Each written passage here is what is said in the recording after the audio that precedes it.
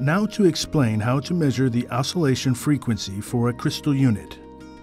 Oscillating frequency refers to the actual frequency of the oscillation circuit when the crystal is implemented.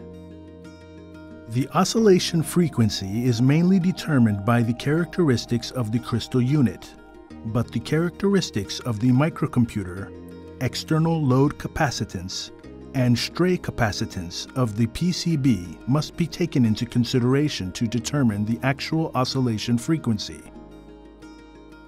If you directly touch the oscillation circuit with a probe, the oscillation frequency cannot be measured accurately, so non-contact measurement is important.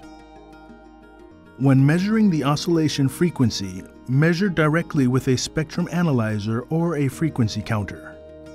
When using a spectrum analyzer, pick up the signal of the oscillation circuit with a non-contact antenna and read the peak frequency of the observed value that appears on the screen. Even when using a frequency counter, you will be probing without contact.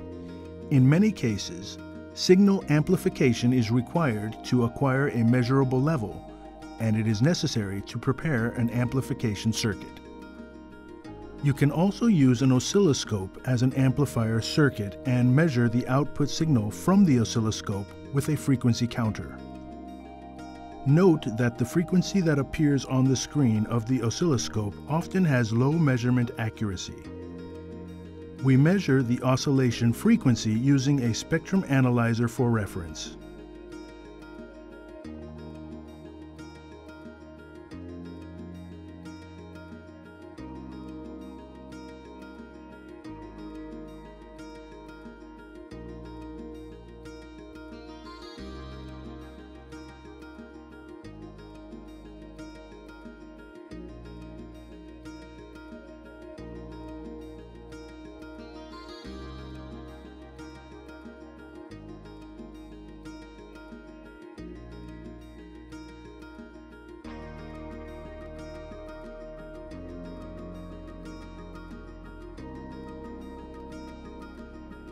There is a difference in oscillation frequency between the customer's board and our test circuit even if the same crystal unit is used.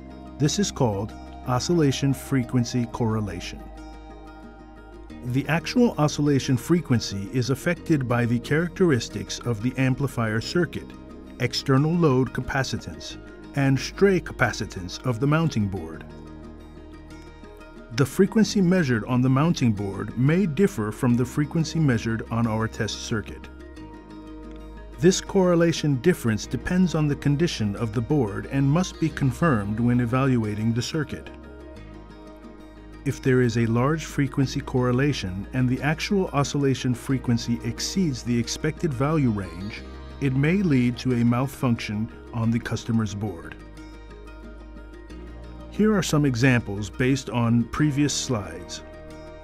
The crystal is within the tolerance of plus minus 20 ppm, centered on 25 MHz for our test circuit.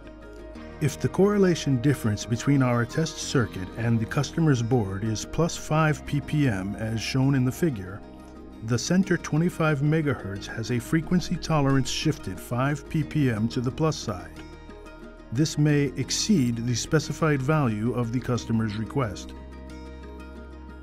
When high frequency accuracy is required, it is necessary to confirm this deviation. When checking the oscillation frequency, be sure to check that the frequency correlation can be adjusted within the desired frequency range by adding this frequency correlation to the product specifications. For customers, the frequency correlation can be implemented by mounting a crystal with a previously known frequency on the board. The customer can then confirm by measuring the comparing and oscillation frequencies. Murata can provide samples with individual frequency data if needed. Please reach out to your local Murata representative for more information. If you have any questions or concerns about oscillation frequency correlation, please contact Murata. Thank you for watching.